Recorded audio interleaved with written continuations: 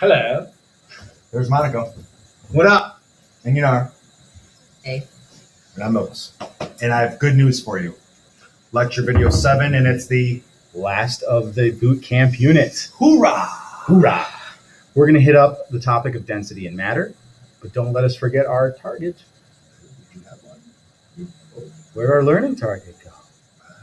We forgot it. Well, I can dictate it to you. Please.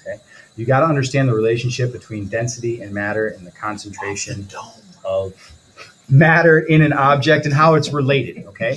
We want you to be able to understand and predict if an object will float or sink based upon its density value. Yep. But furthermore, we want you to be able to understand that any material, assuming it's pure, or even sometimes not, Has a can be identified usually using its density. almost like a fingerprint. will. Mhm. So, density, of course, is going to describe the ratio of the matter to the space it takes up. How much? How much grams per how much a volume? Mhm. Does that sound about right? It sounds just right. All right. There we go. You know. All right. Density is an intrinsic property, and intrinsic means that it doesn't matter how much of your stuff you have, uh, it's going to be the same no matter what. Right. And what's the other piece in there too? How much? How much stuff, or it's Temperature. There you go. So you can heat the gold up, and the density of the gold doesn't change. As long as it's still solid, I guess. Mm-hmm. You don't want to heat it up, but guess what? Um, generally, I don't think we can melt the gold melting point is too high for us to get it up there. what we were just trying to get at, in fact, is that density is one of these secret hidden properties for matter. It is unique and doesn't really change. Okay, if you cut your sample in half, it's the same. Right. That's the key right there. right? If your block of gold gets cut in half, the density of the re- left-hand chunk and the right-hand chunk are still the same. Right, because the volume changed along with its mass. Right. They changed proportionally. And then, of course, back to eighth grade, if an object has a smaller density, it will float. If it has a larger density, it will sink. And we will learn before too long why water is one of the only substances that has its solid form at a lighter density and ice floats on its liquid. Right. It, water is very unique in many, many ways. And exactly what he said. Yeah, that too. yeah. Uh, example problems. How about that? Yeah. How about some example problems? Let's do that. Yeah. Bottom. Easy. You talk and I write? Sure. He's got better handwriting than me. So density Yeah. problems are simple. You're going to be given a mass and a volume. You have to calculate the density. And the density equations on table T of our reference tables, it's mass divided by volume. So grams per centimeters cubed would be our final unit. So the density says cube's got a volume of 100 centimeters cubed. So as it says right there, that's a volume. And a mass of 150 grams. So that's there, right? Your mass. What is the density? Yeah, and this is the plug and chug piece, Yep. or the plug part. Right, so I'm so gonna do. D equals I gotta do 150 over 100. mhm, Oh, and I can do this in my head. That's gonna be on a 1.5 grams per centimeter cubed. cubed. That would be the answer. Beautiful. And now what we get to use it for is figuring out what the identity of the object or what if, if it would float or sink. Ooh. Water has a density of 1.0, and the density we just figured out was 1.5 grams per centimeter cubed. So this density is larger or smaller than that of water. Larger. So it's got to float, right? Ooh. Ah, I think larger, we just wrote larger would sink. Oh, so the bigger the density, the closer to the bottom of the container it would be. Yeah. Okay, so bigger numbers go to the bottom. Bigger hits the bottom.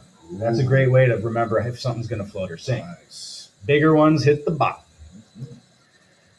Other density problems. These ones may get a little more complex Yeah, math wise. I. Uh, we might need a calculator, bruh. No, bro, we're good. No, bruh. I can do. I No, can do you can algebra, bruh. I can do algebra, brah.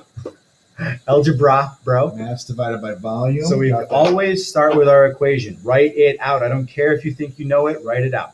Unknown sample of metal has measured volume by displacement of 10 milliliters and a mass of 78.74 grams. So we know our volume's 10 mils and the mass is 78.74. So we a plug and a chug it.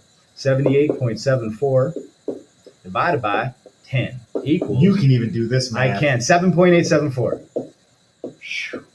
I love binary math. Grams Per, milliliter this time. which is the same as a centimeter cube. Yeah. They are buddy. the same. If you measure a centimeter vertically, horizontally, and in and out, and you fill it with water, it would have the volume of one milliliter. They are the same unit. Can you pick it up? No, you can't It's grab it. not letting me. Let me click it and drag it. Try it. Nope. But hey, it's all right. Try it. Using 7.874, what would the identity of the metal be? Ooh, which one of these answers is closest to 7.874? Ah, I think it's iron. I think, I think you'd be right. Are we perfectly precise? Pretty close. We're pretty accurate I because mean, let's be honest, that's 7.875 1,000th. is pretty good. Yeah, Pretty good. so that's good. So we did good in our lab there.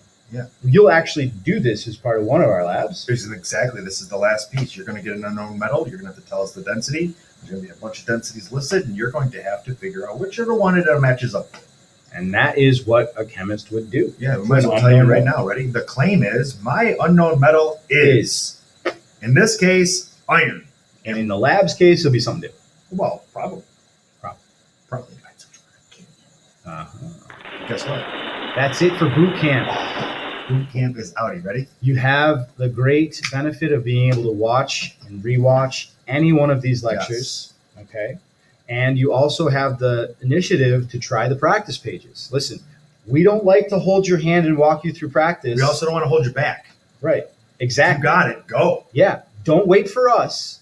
Show us that you got this, and we will promote you on to the next material. Right. And besides, anyways, it helps you if you do get stuck. That's no crime.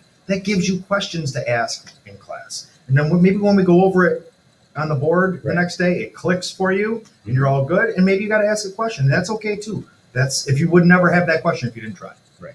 Exactly. So, He did say we were done, all right? see ya in the next unit, atomic theory. Yeah. Unit, real unit one, we're going to do some chemistry now. Bye, guys. Click the button and turn off the video. What's going on, bro? Where's the button?